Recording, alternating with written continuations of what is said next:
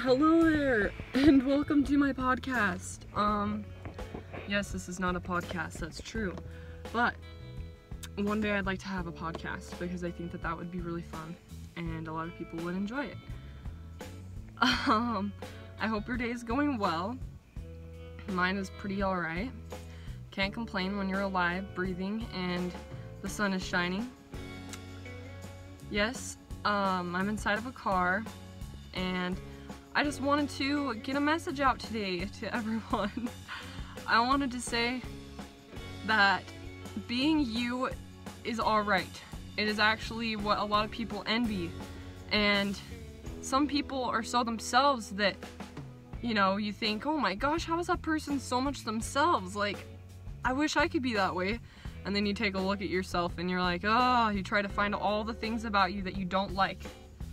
And I think that that is very unhealthy. Don't do that. Um, the only way to become more yourself is to actually maybe realize those things that you're looking at about yourself and thinking, oh, I don't like that about me. That is what makes you you, and that is what you should own. Own it. Don't freaking try to hide it.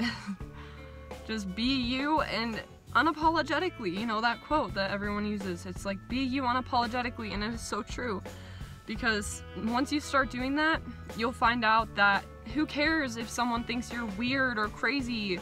Like, who cares? It's your life. Live your life and be happy because we get one chance, you know, like that song Eminem does. You got one shot, not and just, yeah, own yourself. Uh, own who you are because when you stop doing that, you're allowing other people to dictate how you are living. And I don't care how old you are, you know, this has been something I've struggled with in the past and I'm just recently as the new year's coming up, I'm like, hey, I'm just gonna be me, like no matter what, and do what I need to do to make myself and like the world better, because that is what really matters in this life. Is once you start to own your heart and like realize your heart is like the only thing that you're going to ever need to follow or even take any advice from it's just your heart you know? Any like advice you take it's reflections of you know maybe okay drink more water that's a good one for anyone. Just make sure you're doing it safely don't over drink water. Okay that was a joke. Um but just know that you are your only compass you're your compass. Yeah you could say all right somebody else's compass is going this way right? But then you just got to remember that if your compass tells you to go this direction, follow that instinct because that is your compass. You don't need to follow theirs. What if their compass is a little bit wonkier compared to how yours is and where you want to end up? Just, yeah. And don't forget to breathe because breathing is probably one of the most underrated things that this life really ever emphasizes. We say, oh, do this, sleep better with these mattresses and all this stuff. And it's really just like no, just breathe better. Like, just breathe. I do four counts. One, two, three, four. Hold it for like maybe three or four seconds. And then let it out for four seconds. And then you just will notice how much better you feel. Like, I just felt a little bit high from that. And, you know, it's like natural high.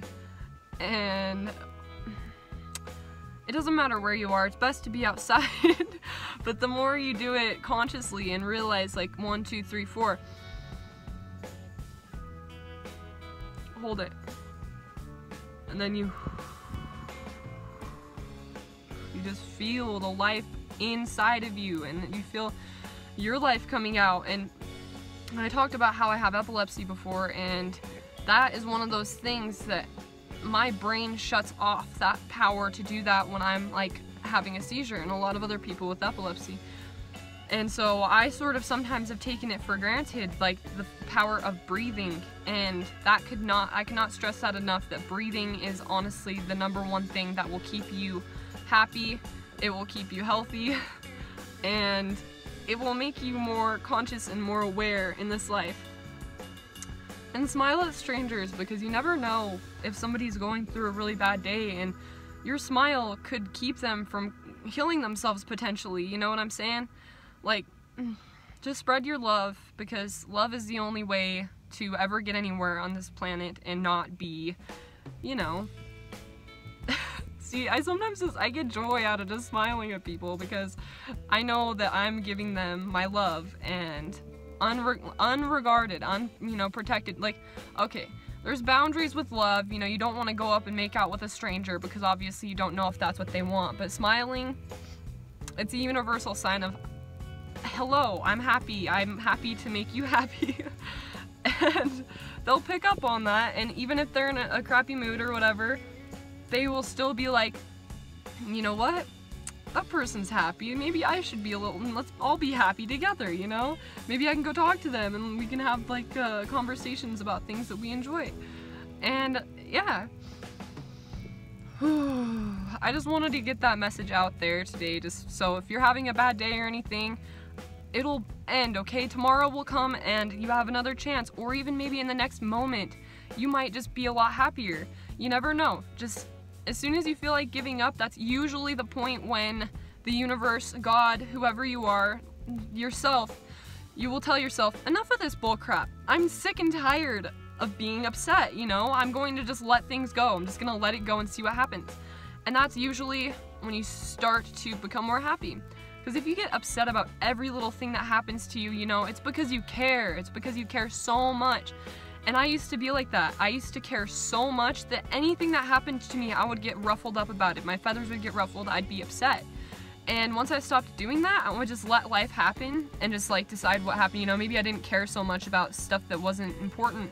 Like, uh, okay, I dropped a piece of food on the floor. Oh, but look at that. It's food. How can I get mad about like dropping food on the floor? Like a lot of people don't even have that opportunity. So I know not like, uh, not accepting your problems uh, is not a good idea because that makes you feel even worse. It makes you feel like your feelings aren't valid.